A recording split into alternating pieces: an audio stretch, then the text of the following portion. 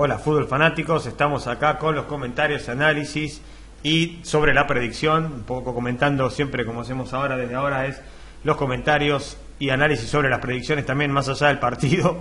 Bueno, acá habíamos dado 6 a 0 que ganaba el Real de Madrid y me quedaba corto. Bueno, no fue así, le ganó apenas por 1 a 0, si bien hubo un solo equipo en la cancha, como se sabe, con 66% de posesión y 34% de para el Granada. Le, le, costó hacer goles al equipo de Real de Madrid, que pateó 10 veces al arco, o sea, 20 remates, 10 fueron al arco, solamente pudo concretar uno. El Granada prácticamente pateó muy poco al arco, eh, así que fue un, partido bastante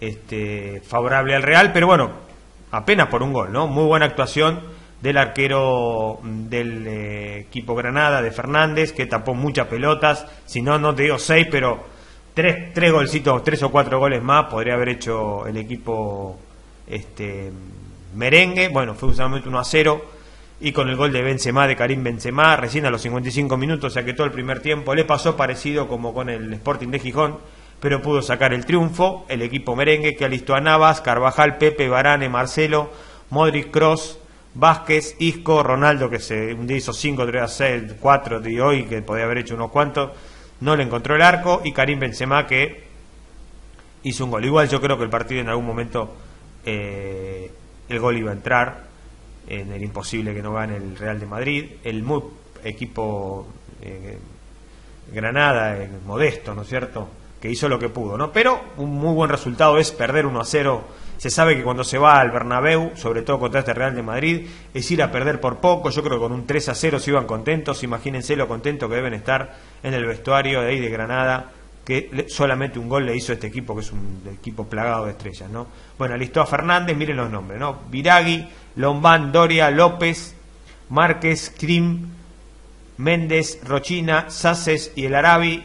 No los conoce ni la estamos hablando, por supuesto, de lo que son hinchas de Granada, un abrazo para todos, los que están en España conocen, pero estas previas y todo las hacemos para gente de todo el mundo, Argentina, Brasil, Chile, y bueno, no los conoce nadie estos jugadores, un equipo prácticamente desconocidos contra un equipo plagado de estrellas, perder solamente por 1 a 0, yo creo que se deben estar abrazando y deben estar saltando de alegría tanto los hinchas de Granada como los jugadores, no, no tengo dudas. Así que bueno, esto es lo que pasó en el partido, eh, bueno, abajo tiene el link para ver el gol. Ganó el Real, el único que se puede decir, y bueno, ahorró muchos goles, y, pero bueno, pudo sacar el triunfo, que en definitiva es lo más importante en cuanto al, a lo que es la apuesta del ganador, ¿no? Igual acá no, no hay que colgarse ninguna medalla, porque como decimos, el partido del Real es a ver cuántos goles va a hacer. Nosotros dijimos que hacía seis, apenas hizo uno. Lo podría haber hecho los seis o cinco tranquilamente. A la derecha te suscribís al canal, abajo nos visitas en la web. Nos vemos en la próxima. Enormes gracias. Chau.